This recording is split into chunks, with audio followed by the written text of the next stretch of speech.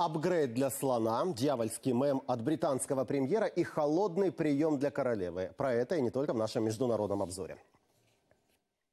Апгрейд для слона. В калифорнийском зоопарке смастерили специальные защитные колпачки из меди на бивни для слона. Животному уже 13 лет, ведет себя очень активно. Неудивительно, что его бивни порядком поизносились. Работники зоопарка переживают, неспокойный обитатель может их окончательно сломать. А это, в свою очередь, предполагает риск попадания инфекции. Необычный заказ взялось выполнить местное предприятие. Слон, похоже, в восторге от новинки. Новым интернет-мемом стал дьявольский смех британского премьера Терезы Мэй. Пользователи сети не смогли забыть, как она посмеялась над вопросом оппонента, лидера британских лейбористов Джереми Корбина.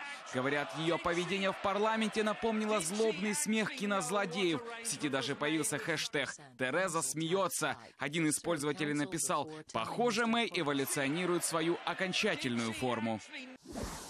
Четырехлетнюю Мэдисон из американского штата Угай едва не унесло ветром. Когда девочка открывала входную дверь своего дома, сильный порыв ветра сбил ее с ног. И малышка, повиснув на дверной ручке, оказалась зажатой между стеной дома и дверью.